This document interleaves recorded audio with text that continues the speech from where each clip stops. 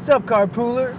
Corduroy Paco's mobile vlogging unit is back, and we are filled with effect. Here it is. Well, it's Labor Day, the end. It's over. It's behind us. It's in the rear view mirrors, never to happen again. Summer 1 1 in the books. I gotta say, this summer went by in the blink of a hazel eye.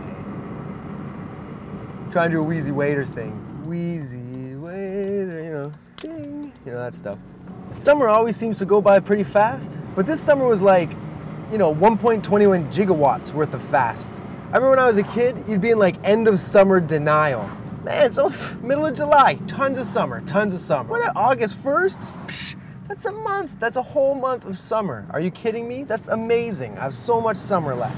Then as August starts to wind down, you start seeing more and more back to school commercials on TV. You're like, what is this doing on? How can they talk about school already? It's only like August 28th. I can't even believe it. They're talking about school. There's so much summer left. Summer was wrapped up, but you're just like, nope, nope. Still a lot of summer, a lot of summer. By the end of August, you've watched every movie you had, you've rented every movie you could possibly rent. Back in those days, you had to rent movies. And just like languishing around, waiting for something to do. Those super long, hot August days were just like, let's let's get this over with. But then the thing is, deep down within me at least, I don't know how other school children were. There's this weird thing of looking forward to going back, even though you knew it was a trap waiting for recess. Can't wait for that lunch hour. Playing hockey with a tennis ball, but you can't have hockey sticks. You're playing with your feet, so essentially it's soccer with a tennis ball.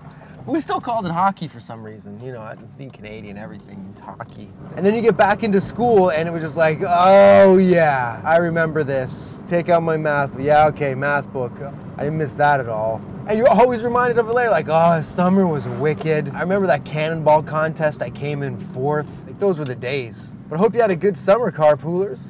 I hope it lived up to all your expectations. I hope you're not bummed out it's over. And I hope you're looking forward to the fall season, which is my favorite season. I love fall, live for it, my favorite time. To me, it always works out something always big happens in November. I don't know why that happens, but it does. It's something I forget about until something big happens in November, and then I'm like, oh yeah, something always big happens in November. This will be the year nothing happens, because now I've got like, I don't know, like eight people watching this.